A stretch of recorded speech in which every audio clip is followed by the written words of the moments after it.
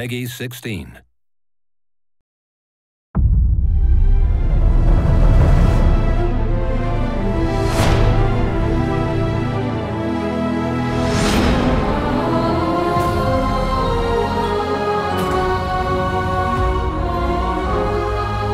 So Might and Magic Heroes, or Heroes of Might and Magic as it was called originally, is celebrating its 20th anniversary this year. The first one was released in 1995. So how do you feel as a creator of the franchise? It's absolutely amazing to, to think that it's been 20 years since we made the first Heroes game and that uh, they're still being played and uh, new ones are being created today. Just terrific. Can you tell us basically how Heroes came to be, how it was born? I was a big fan of strategy games as well as role playing games. I really wanted a strategy game that you could start, play through, and uh, finish and win, and then start over and try different strategies and tactics and different difficulty settings, a little bit of RPG. It was fun to just pull all that together in a fantasy theme. In your opinion, what is a magic recipe that made Heroes so appealing and even addictive to, to players during these two decades? I think the passion of the development team working on the game was a big part of the magic that came out of it. We all loved working on it and we loved playing it, and I think that really came through in the quality of the end result on the product.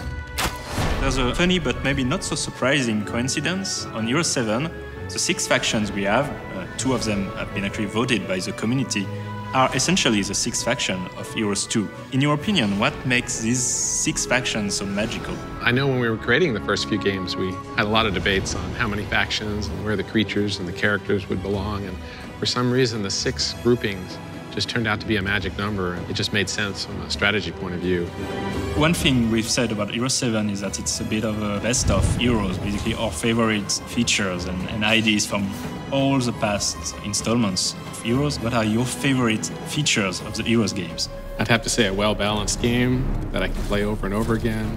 A lot of difficulty settings, beautifully uh, created, and of course, having an editor where people can put themselves into the game. Looking back all these years, you, you've really been witness of the evolution of the video game industry. What's your opinion on video games nowadays? It's really been pretty cool to watch the evolution of games over this long period and to see something like Heroes and Might Magic continue to be played this long. I really can't tell you how great that feels. So right now we are in the last sprint before releasing Might and Magic Heroes 7. Did you have the chance to see what game I was shaping up to be? I'm obviously very excited to see it come out. And like with the previous Ubisoft games, I've been waiting to actually play the final game is the way I like to do it. So can't wait to play it. I'm very excited. Is there anything you'd like to add, a message for the fans? Of course, thank you to the fans for all their support and they keep playing the games. That's just wonderful. Thank you.